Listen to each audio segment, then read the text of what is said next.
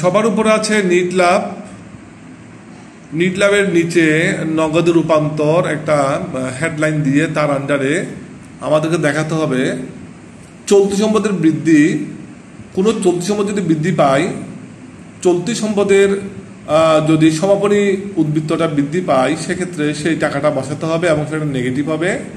এখানে আমি ব্র্যাকেট দ্বারা নেগেটিভ নাম নেগেটিভ বুঝিয়েছি। এবারে চলতি সম্পদ যদি হ্রাস ঘটে, সেটা পজিটিভ হবে। চলতি দায় বৃদ্ধি পেলে পজিটিভ চলতি দায় হ্রাস পেলে নেগেটিভ স্থায়ী সম্পদ বিক্রয়জনিত মুনাফা যদি হয়, সেটা হবে নেগেটিভ স্থায়ী সম্পদ বিক্রয়জনিত ক্ষতি হলে সেটা হবে পজিটিভ এবং স্থায়ী সম্পদের অপচয় হলে সেটা হবে পজিটিভ একইভাবে অবলোপন, কোনো সম্পদের যদি, স্থায়ী সম্পদের যদি অবলোপন হয়, সেটা হবে পজিটিভ আমরা চূড়ান্তভাবে এখানে পজিটিভ ফিগার থেকে নেগেটিভ ফিগার বিয়োগ অথবা নেগেটিভ ফিগার থেকে পজিটিভ ফিগার বিয়োগ করে সেই বিয়োগফলটাকে আমরা নিয়ে আসব দ্বিতীয় আহ, যার উপরে রয়েছে নির্লাভের টাকা। এখন আমরা দ্বিতীয় ঘরে যে টাকাটা আনলাম প্রথম ঘর থেকে যোগ বিয়োগ করে যে টাকাটা দ্বিতীয় ঘরে আনলাম যদি সেটা নেগেটিভ ফিগার হয় তাহলে সেটা ওই নিট লাভ থেকে বিয়োগ হবে। আর যদি সেটা পজিটিভ ফিগার হয় তাহলে সেটা নিট লাভের সাথে যোগ হবে এবং এ তার নাম হবে নিট নগদ প্রবাহ। তার নামটা হবে নিট নগদ প্রবাহ।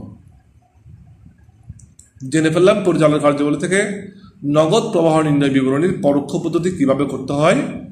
এবার আসছি বিনিয়োগ কার্যাবলী হতে নগদ প্রবাহ নির্ণয় বিবরণী কীভাবে করতে হয়। তো ভালো করে খেয়াল করো। বিনিয়োগ কার্যাবলী হতে নগদ প্রবাহ নির্ণয় বিবরণী তৈরি করার জন্য যে চারটা একদম সহজ, দেখো, খেয়াল করো। প্রথমে রয়েছে দীর্ঘমেয়াদী বিনিয়োগ বিক্রয় যেটা আমি পজিটিভ দেখিয়েছি। আবার দীর্ঘমেয়াদী বিনিয়োগ ক্রয় ক্রয় করতে গেলে টাকা চলে যায়, সে কারণে নেগেটিভ স্থায়ী সম্পদ বিক্রি করলে টাকা আসে, তাই পজিটিভ স্থায়ী সম্পদ ক্রয় করলে টাকা চলে যায়, তাই সেটা নেগেটিভ এখন এগুলো যোগ বিয়োগ করার পরে আমি যে ফলটা পাবো, সেটা যদি পজিটিভ হয়, তাহলে নিট নগদ আন্তঃপ্রবাহ, যদি সেটা নেগেটিভ হয়, তবে নিট নগদ বহিঃপ্রবাহ। আমি এখানে শুধু নিট নগদ প্রবাহ লিখেছি। জেনে ফেললাম বিনিয়োগ কার্যাবলী। আমরা যাচ্ছি এখন অর্থায়ন কার্যাবলীতে যাচ্ছি। অর্থায়ন কার্যাবলী হতে নগদ প্রবাহ নির্ণয় বিবরণী তৈরি করতে হলে তোমরা একটু খেয়াল করো, প্রথমেই আছে শেয়ার ইস্যু অথবা বিক্রয়। অর্থাৎ প্রতিষ্ঠানের শেয়ার ইস্যু অথবা বিক্রয় বাবদ কোনো টাকা আসছে কিনা, সেটা পজিটিভ একইভাবে ঋণপত্র যদি আমরা ইস্যু করি অথবা বিক্রয় করি সেই বাবদ নগদ টাকা আসলে সেটাও পজিটিভ এবারে নিচে দেখো, লাল রঙের যেই দাগগুলো আছে, সেখানে শেয়ারের মূল্য পরিশোধ। যদি আমরা কোনো শেয়ারের মূল্য পরিশোধ করে দেই, সেটা হবে নেগেটিভ একইভাবে ঋণপত্রের মূল্য পরিশোধ করলে, অথবা অন্য কোনো দীর্ঘমেয়াদী দায় পরিশোধ করলে, সেটা হবে নেগেটিভ এবং যদি লভ্যাংশ প্রদান করা হয়, সেটা হবে নেগেটিভ সবকিছু যোগ বিয়োগ করার পর আমরা পাবো নিট নগদ প্রবাহ। এই টাকাটা যদি পজিটিভ হয়, সেক্ষেত্রে নাম হবে নিট নগদ আন্তঃপ্রবাহ।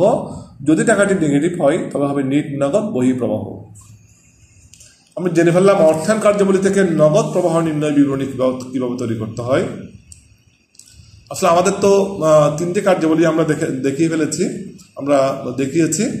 এখন আমাদের অঙ্কের সর্বশেষ একটা ধাপ, সেটা হচ্ছে আমরা বলি যে নগদ প্রবাহ বিবরণী। এখানে তিনটে কার্যাবলীকে আমি একসাথে দেখিয়েছি, একটু খেয়াল করো। এটা হচ্ছে একটা সামারি বলা হয় সামারি পরিচালন কার্যাবলী হতে নিট নগদ আন্তঃপ্রবাহ, আমি ওইখান থেকে কি পেয়েছি? আগের অঙ্ক থেকে যা পেয়েছি সেটা এখানে বসাবো। বিনিয়োগ কার্যাবলী থেকে যা পেয়েছিলাম সেটা এখানে বসাবো। অর্থায়ন কার্যাবলী থেকে যা পেয়েছি সেটা এখানে বসাবো। তো লক্ষ্য রাখবা, যদি কোনোটা পজিটিভ ফিগার হয়, সেটা ব্র্যাকেট দেবে না। যদি কোনোটা নেগেটিভ ফিগার হয়, সেটা ব্র্যাকেট ইউজ করবে। আচ্ছা এবার তিনটে ফিগার যোগ বিয়োগ করলে আমরা পাচ্ছি নিট, নগদ, আন্তঃপ্রবাহ। তার সাথে যদি আমরা প্রারম্ভিক নগদ তহবিল যোগ করি, তাহলে আমরা পেয়ে যাব সমাপনী নগদ তহবিল। আশা করি তোমরা বিষয়টি বুঝতে পেরেছ। আমি আমার পরবর্তী ক্লাসে একটি মডেল কোয়েশ্চেন করিয়ে দিব। আজকের এই ক্লাসে থাকার জন্য সবাইকে ধন্যবাদ। দেখা হবে আবার আগামী ক্লাসে।